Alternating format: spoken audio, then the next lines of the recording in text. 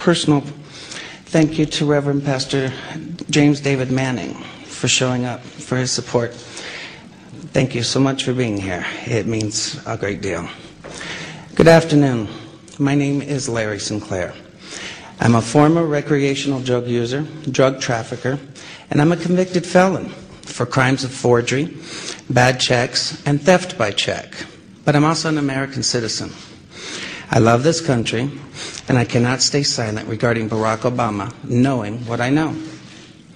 Today, I will discharge my obligation as a citizen to witness this knowledge to you and raise questions for others to investigate and consider. I'm going to briefly describe my background and experiences with Senator Obama. In 1999, what appears to me to be a coordinated effort to discredit me, and finally a list of questions after this brief statement, I will take and try to answer any reasonable questions. My background I'm 46 years old and I currently reside in Duluth, Minnesota. I am a U.S. citizen. I've made mistakes in my lifetime. I have been convicted and served prison sentences for writing bad checks, forging checks, using stolen credit card numbers in Arizona, Florida, and Colorado. These events occurred over 20 years ago, between 1980 and 1986. After going public on the internet with these claims against Senator Obama earlier this year, I became aware of a warrant out of Florida dated from 1986, which I have resolved, and it has now been dismissed. I also have an active Colorado only warrant for alleged theft and forgery. I am not ignoring this warrant, but am addressing it with the court in Colorado as well as with the district attorney's office. I have a pending motion to dismiss this warrant, which I am waiting to have calendared by the Colorado court. I have lived and worked under three different legal names. My birth name is Lawrence Wayne Sinclair. Later on, I had my name legally changed first to Lorai A. Silvas and later to Lorai Vizcarra Avila. Both name changes were conducted legally in the Pinal County Superior Court, Florence, Arizona. I legally returned to my birth name in the Fremont County District Court, Cañon City, Colorado, in the year of 1997. In regards to the Obama incident, I flew out of Colorado Springs, Colorado to Chicago on November 2nd, 1999, arriving in O'Hare early in the morning of November 3rd.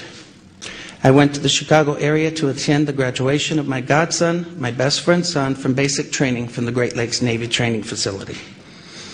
I made reservations at the Comfort Inn and Suites in Gurnee, Illinois, based solely on the location to the training center. On November 5th, 1999, I hired the services of Five Star Limousine. I had hired them both for November 5th and November 6th of 1999. On November 6, 1999, I asked the limo driver, whose name I now reveal for the first time, Jagir Paramit Mutani, if he knew anyone who would like to socialize and show me Chicago. Mr. Mutani understood that I was looking for someone who knew Chicago and would enjoy socializing. Mr. Mutani said he knew someone who was a friend of his. On November 6, 1999, after picking me up at the hotel in Gurnee, and this is significant, Mr. Mutani used his cell phone to make a call. That call was made to then Illinois State Senator Barack Obama to set up an introduction between myself and Senator Obama. Upon arriving at the bar and exiting the limo, Senator Obama was standing next to Mr. Mutani, and I was introduced to Senator Obama by name. Later that evening, in a bar which I believe was called Alibis, and I state believe because I have failed so far to get Citigroup to provide the credit card receipts that has the actual name. I mentioned I could use a line or two to wake up. Senator Obama asked me if I was referring to Coke, and I stated I was. After stating I was, Obama stated he could purchase cocaine for me and then made a telephone call. This too is significant from a cell phone to a presently unknown individual during which Senator Obama arranged the cocaine purchase. Senator Obama and I then departed the bar in my limousine and proceeded to an unknown location where Senator Obama exited the limousine with $250, which was provided to him by me. Returned a short while later with an eight ball of cocaine, which he gave to me. I did ingest a couple of lines of cocaine, and shortly thereafter, Senator Obama produced a glass cylinder pipe and packet of crack cocaine from his pocket. Obama then smoked the crack cocaine. I performed fellatio on Senator Obama in the limousine during the time Senator Obama was smoking crack cocaine, after which I had the driver take me to my hotel, the Comfort Suites, Gurnee, Illinois. The following day, November 7th, 1999, Senator Obama appeared at my hotel room, unannounced, uninvited, where we again ingested cocaine and I again performed fellatio on Senator Obama. Significantly, both the driver's telephone call to Senator Obama and his call to the drug dealer should appear on the driver's and Senator Obama's cell phone billing statements. In the fall of 2007, September 2007, I contacted the presidential campaign of Barack Obama to request solely that Senator Obama publicly correct his stated drug use record to reflect, excuse me, to reflect his use of crack cocaine with me in November of 1999. When I made the first contact, I left with the presidential campaign of Senator Obama a telephone number for the campaign to return my call. The first number I provided was a Texas cell phone number. From the period of Labor Day weekend 2007 through November 18th of 2007, I did provide a total of four different callback numbers to the Obama campaign. As I had moved and I had changed the numbers to, to reflect locally my place of residence at the time. In late September to early October 2007, I received a call from a male who identified himself as a Mr. Young, stating he was calling in regards to calls I had made to the Obama campaign.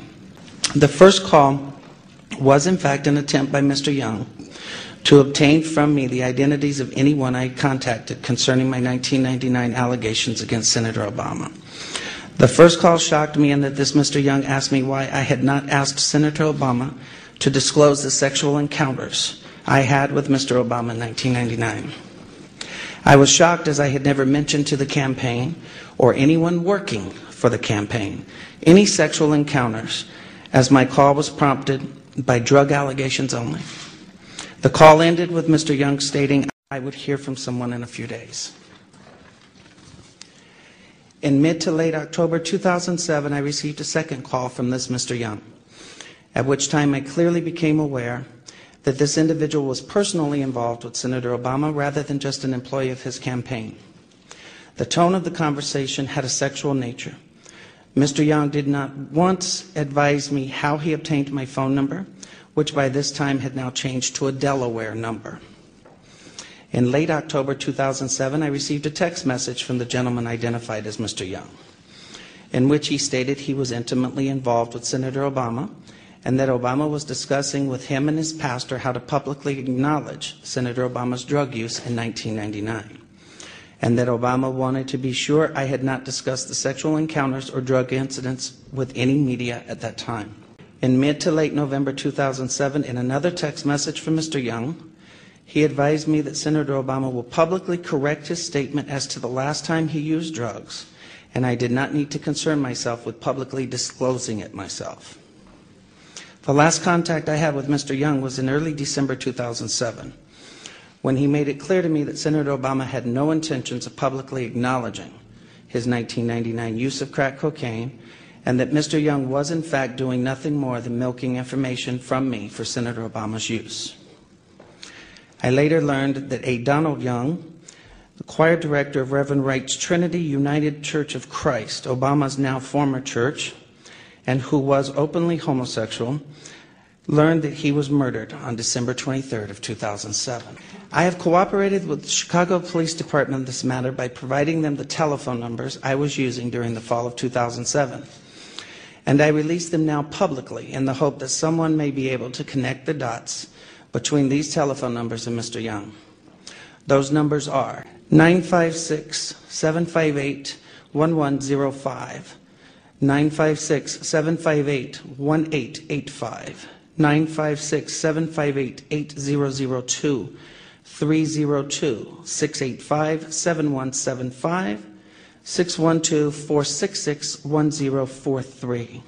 In what I now realize was a naive and uncounseled decision, I posted in January 2008 a video on YouTube where I related the above information regarding my liaisons with Senator Obama in 1999. The response was overwhelming, and I quickly became the recipient of what in hindsight appears to have been a coordinated attack on my character with ever increasing falsehoods circulating on the internet. In response, I agreed to take a polygraph test sponsored by WhiteHouse.com.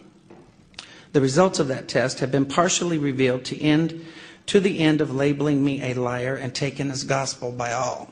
I'd like to make the following comments about that polygraph test. First, I have been subsequently advised that WhiteHouse.com was a website dedicated to anti-Clinton pornography until earlier this year. In fact, until 2000, January of 2008 to be exact. Second, I have now come to understand that lie detectors are junk science at best, which is why courts of law refuse to use them. Third, a review of the results by a George W.